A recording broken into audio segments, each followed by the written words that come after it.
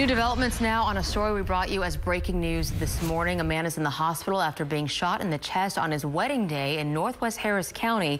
Now we're hearing from a neighbor who lives right next door and was home when it happened. Channel 2's Brittany Jeffers is live at the house with what that neighbor had to say. Brittany.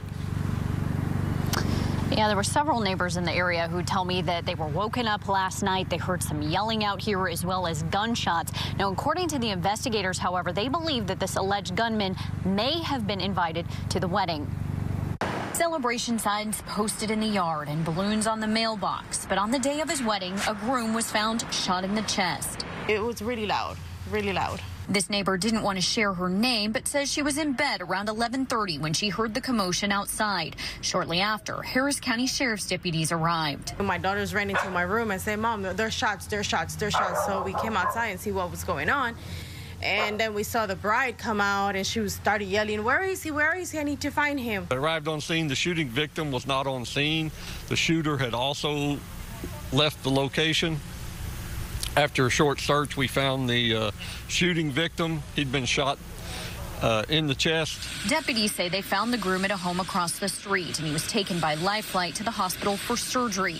It was reported to an investigator that the alleged gunman may be a person who was invited to the wedding who got into some kind of altercation with the groom. After the shooting, that person took off. Apparently they, they got somebody from the backyard and took him out, but they didn't, you know, they didn't like knock or anything. Another person in the neighborhood says he was asleep when his roommate called him, claiming that authorities found someone in the backyard and his fence was damaged. But I know that there's like a hole in my fence and a bunch of like, not a bunch, but there's like some bloody gauze on the ground back there. He doesn't know who that person was. And according to investigators, witnesses on scene, including the bride, were not cooperating with investigators. Three people at the house were detained, but at this point, no one is in custody. And investigators haven't released any details about a potential suspect.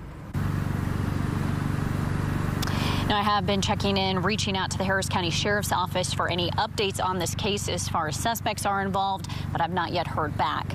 Live in Northwest Harris County, I'm Brittany Jeffers, KPRC, Channel 2 News. All right, Brittany.